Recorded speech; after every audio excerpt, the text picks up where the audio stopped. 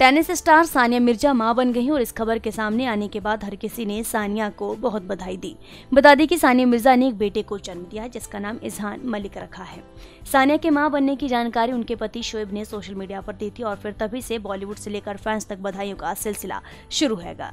तो वहीं हर किसी की नज़र अब सिर्फ़ सानिया के बेटे पर है कि कब सानिया के बेटे की एक झलक लोगों को देखने को मिलेगी।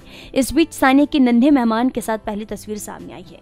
इस तस्वीर में सानिया बच्चे को गोद में लिए दिखाई दे रही और पीछे का नज़ारा देख करके साफ़ लग रहा है कि सानिया अस्पताल में ही है। सानिया की तस्वीर हैदराबाद के रेनबो चिल्ड्रन अस्पताल की, जहाँ पर सानिया बढ़ती थी।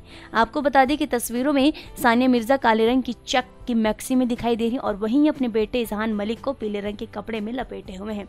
ये तस्वीर उस वक्त ली गई जब सानिया अस्पताल से घर जा रही थी। न्यूज़ रूम की रिपोर्ट। अगर आप भी बनना चाहते हैं, एंकर और रिपोर्टर वीडियो एडिटर कैमरामैन या फिर स्क्रिप्ट राइटर तो हमें संपर्क करें।